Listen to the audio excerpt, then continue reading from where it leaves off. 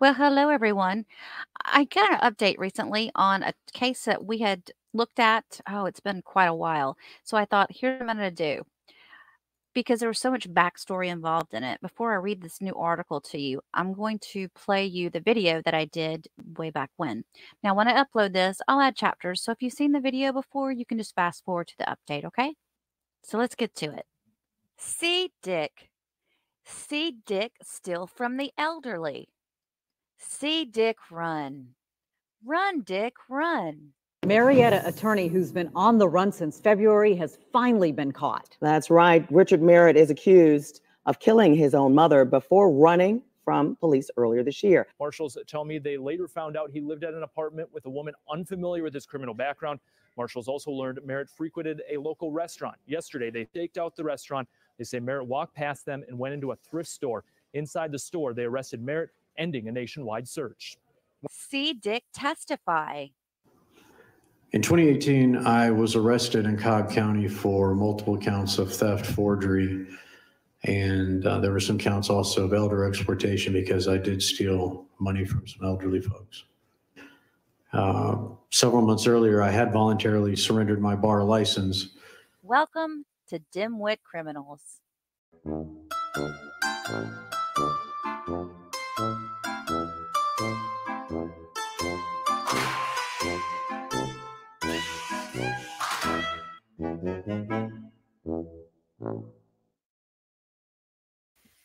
Richard Merritt, who I warmly refer to as Douchebag Dick, is a disbarred attorney and father of two children who was recently on trial in Georgia for the brutal unaliving of his own mother. I mean, look at this pic, ladies. Is he a catch or what? Shirley Merritt was 77 years old, and she was the only person left in Dick's life who put up with his BS. So, Dick was an attorney. He specialized in, well, I'm just going to let his ex wife explain it.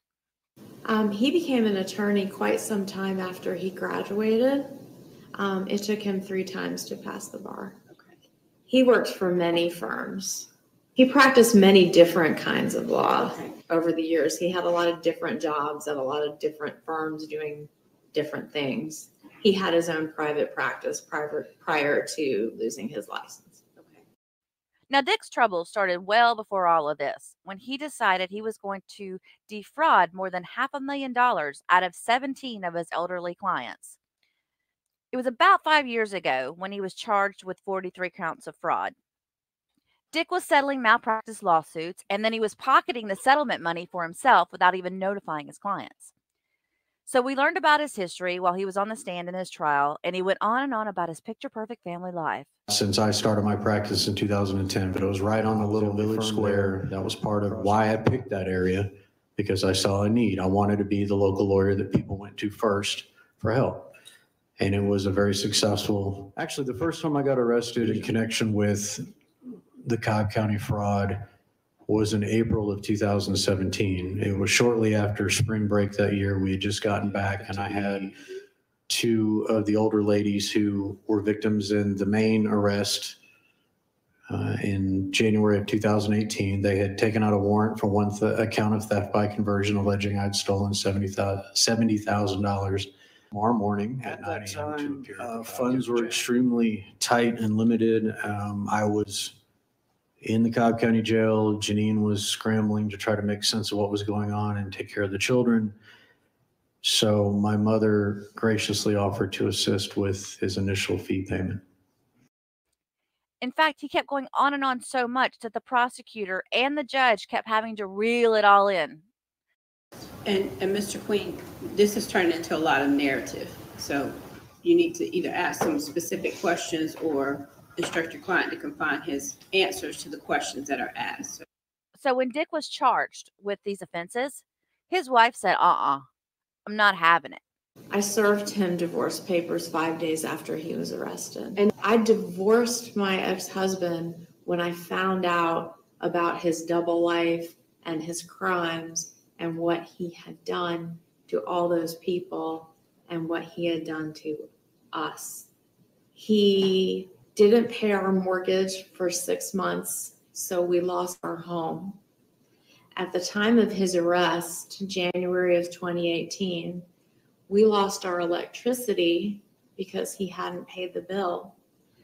I had a van that I used to transport my daughter and my and her wheelchair, and he pawned the van. So who comes to the rescue? Mama. Mama, who is the only person that has always been there for Dick, pulling him out of all of his problems financially, apparently criminally. She even takes a second mortgage out on her home and bails his useless butt out of jail. So he pleads guilty to forgery and elderly exploitation in January of 2019. He was sentenced to 30 years with the assumption that he was going to serve 15 of that, right? But the judge gives him two weeks to get his affairs in order before he reports to jail. Have these judges not learned from the past? You give these criminals an inch and they're going to take a mile. So, back to his more recent trial. Dick sat on the stand and he described what happened to his mother with zero emotion. According to Dick, on February 1st of 2019, mom was cooking Dick's favorite meal because it was the last night before he had to go to prison and start serving his sentence for 15 years. Dick says these two random guys knock on his mother's front door. He answers it and he lets them in because they're holding pistols to him. They told him and his mother to get in the basement. Now, how these two mystery men who he'd never seen before and his mother had never seen before somehow knew that they had a basement was very interesting, right? Well, there's that's just the first Crown story. They said, head to the basement and don't say an effing word.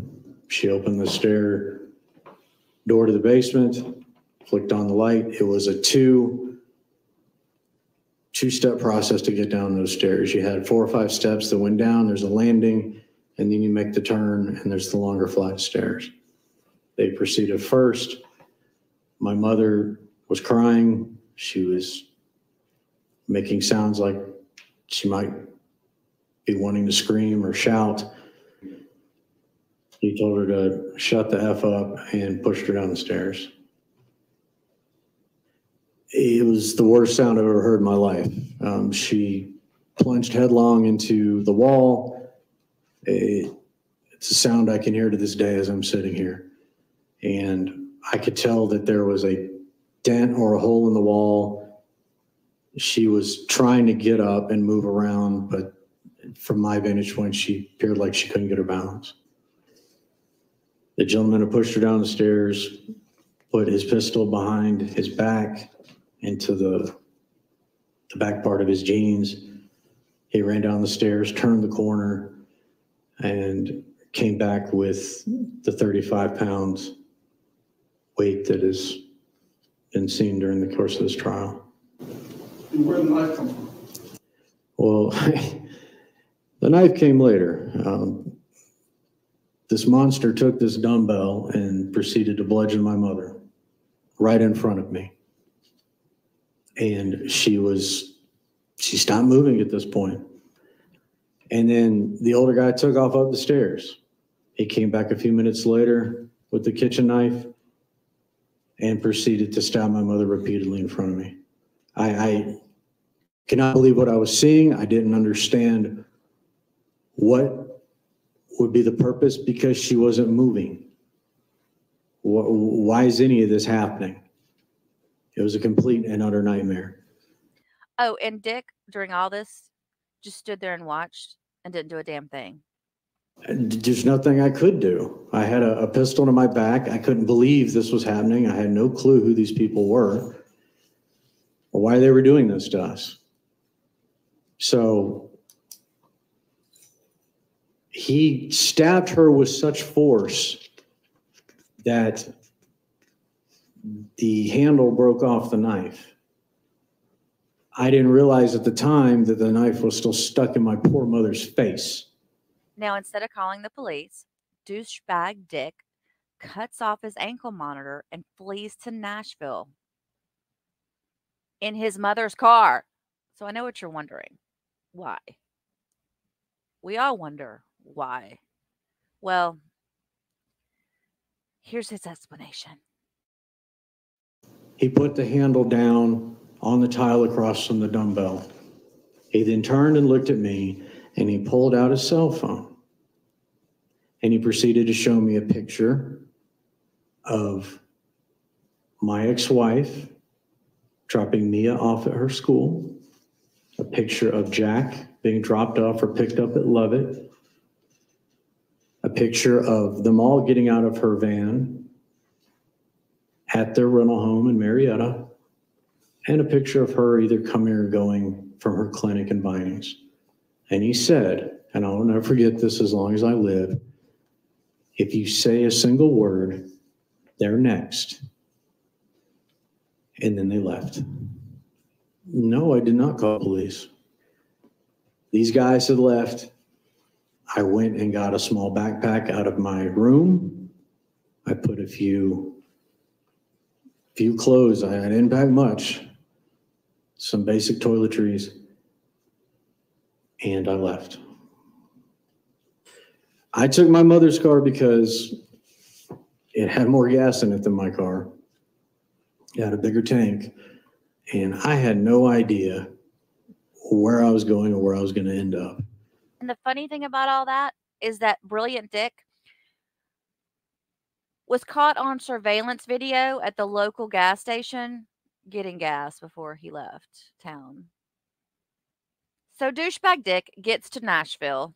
I don't know why he chose Nashville. Apparently he ran out of gas. Uh, Who knows? He changes his name to Mick Malveaux and gets a job at a bar there. He then starts setting up profiles on online dating sites. I bet he uses picture, ladies. I bet he used it. Y'all know he used that picture. Ooh. So some poor woman actually found it attractive and started speaking with him. Eventually, not long at all, actually, she allows him to shack up with her. Because let's face it, Dick didn't have anything. He was probably living out of his dang car. He tells this woman that he was in marketing. However, he's working at a bar, so go figure. He has no kids with his ex wife, and both of his parents were no longer alive for natural causes. Best part of the story right here. U.S. Marshals catch up with Dick eight months later, and he's caught because somebody broke into his vehicle and the vehicle ends up getting towed. Yep. Same car, still registered under his mom's name.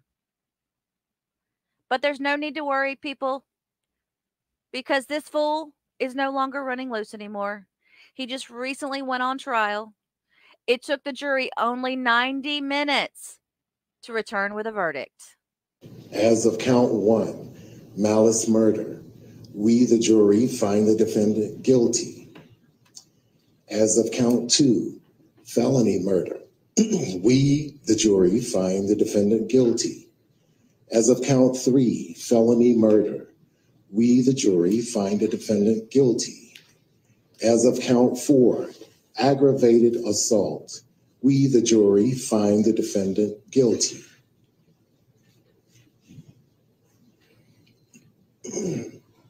As of count five, aggravated assault, we, the jury, find the defendant guilty. As of count six, possession of knife during commission of a felony, we, the jury, find the defendant guilty. This 24th day of May 2023. Shirley Merritt was an absolutely wonderful person. She was a joy to be around. She was a very giving and loving person. And a great person was murdered by her own son.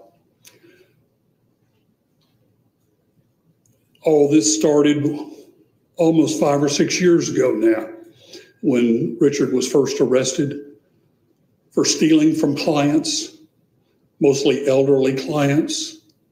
And he showed then he had no compunction about doing anything. When it came time for him to go to prison, He couldn't stand the idea of somebody with an ego as big as his being, uh, being sent to prison. And the court has convicted him of murdering his mother, cutting off his ankle bracelet, running to Nashville, getting on a website and dating a woman and living with her under a complete and utter pretext. His whole life has been a pretext. And I just want the court to what an evil person he is in the eyes of his family. Mr. Merritt, as to count one, malice murder, I do sentence you to life without the possibility of parole. Counts two and three will be vacated as a matter of law. Counts four and five will merge with count one. As to count six, possession of a knife during the commission of a felony, I do sentence you to five years to serve consecutive to the sentence in count one for a total sentence of life without parole plus five years. So there you have it. Justice is served, and douchebag Dick will probably end up using his manipulation on fellow inmates to help them with their legal issues. But this time around, it's only going to be for hostess snack cakes at the commissary. All right, so douchebag Dick. Apparently, his own brother is now speaking out. I was so hoping that we would get an update on this because I just felt like there's his poor mother. Um, I was I was really hoping that we would get an update on this because I felt like there was just some there was a piece missing in this story. Like I wanted to hear from somebody else in the family, and now finally his brother has spoken out. So here's what we are going to let me just read this whole article to you guys. What seemed like the perfect family was torn apart after a man whose own brother called him a master manipulator killed their mother and then went on the run. For part of his childhood, Richard Merritt lived in luxury in Saudi Arabia with his parents, Shirley and Robert Sr., after Robert Sr. retired from the military and began a much more lucrative career with a defense contractor. Okay, that makes sense. See, he was brought up in a posh environment. According to Robert, his brother's manipulative behavior started early and it worsened over the years. In ninth grade, Dick moved to Atlanta to live with Robert so he could continue his education. Robert notes that he was stuck at that time, acting as his brother's cook, driver, and house servant. This guy, ugh, In the early 1990s, Robert Sr. and Shirley also moved back to Georgia, and Robert Sr. retired. Years later, Richard, who went on to study law, married his college sweetheart and initially struggled to get his career off the ground. According to Robert, his brother was lazy and failed the exam several times. However, Richard passed. This must be, she must have meant to put passed here. However, Richard passed on his third attempt, allowing him to realize his dream of becoming filthy rich and a jet setter, says Robert, his brother. In November of 2000, Robert Sr. died suddenly while traveling with his wife, Shirley. The grieving widow dedicated herself to spending time with her grandchildren and rebuilding her life. Meanwhile, Richard worked for the Georgia Attorney General's office and then for several law firms. His successful career allowed him to work with Atlanta's elite, travel, and live a good life with success and all. In 2003, Richard moved his growing family to Smyrna, Georgia. There, Richard and his wife raised their son and daughter, and seven years later, he opened his own law practice. With his success, Richard seems to have created the ideal life. But in May of 2017, that veneer of perfection was shattered when he received a court summons after returning from a family vacation. According to prosecutors, the lawyer had settled a lawsuit for two sisters who were clients, but without their knowledge, he had pocketed their $70,000 settlement check. Investigators investigating Richard's practice also concluded that he may have defrauded up to 17 victims and stole over $450,000. Not only did Richard lose his license to practice law and his livelihood, his wife also filed for divorce and fought for custody of their children. Despite the criminal charges against him, Richard's devoted mother, Shirley, stood by him, bailing him out of the DeKalb County jail and paying his legal fees. My mother begged him to let him live with her. Robert recalls of Dick's living conditions while he was awaiting trial. She wanted to protect him and help him. I think that was a big mistake. In January of 2019, Richard pleaded guilty to the fraud charges against him. He was sentenced to 15 years in prison and ordered to pay restitution to his victims. The judge presiding over the case gave Richard two weeks to get his affairs in order before reporting to jail about the conditions in which he wore an ankle monitor and stayed with his mother. On the day he was supposed to turn himself in to the authorities, Richard refused to turn himself in. Investigators reportedly analyzed data from his ankle monitor, which they later found in a trash can at a gas station. He was on the run, and a day later, on February 2nd of 2019, Shirley, 77 years old, was found brutally murdered in her home.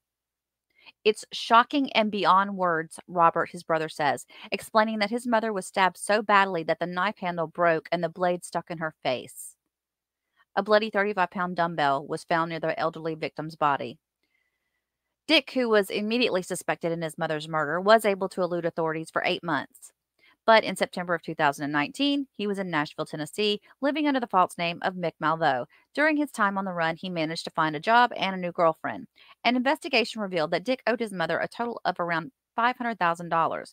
Robert says he believes his brother manipulated and bullied Shirley for financial reasons. He did to my mother exactly what he had done to his clients. Richard was charged with his mother's murder in Georgia and pleaded not guilty in May of 2023. At the end of the trial, the jury deliberated for just an hour and a half before returning a guilty verdict. Richard, now who is 49 years old, was sentenced to life in prison without the possibility of parole. Robert says he has absolutely no pity for his younger sibling. He said, I think he deserves to be where he is. I think he can sit there and think about it for the rest of his life. He added, the absolute lack of respect and clear contempt he shown for his family, his mother, and his father's memory is unforgivable. Amen to that. And God bless poor Robert for what he's had to go through for this. It's horrible. I can't imagine.